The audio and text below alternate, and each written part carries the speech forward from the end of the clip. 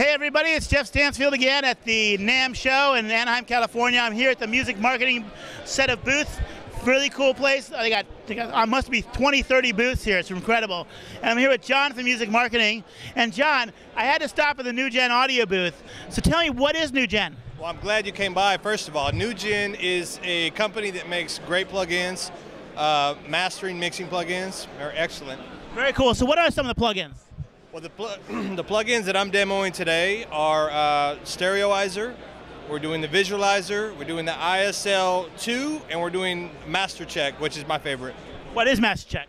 Master Check is a referencing plugin, so you can check your masters versus uh, what uh, platforms you're going to be uploading to. So all the streaming sites, all the broadcast, all, everything will allow you to preview how it's going to sound once it's uploaded there.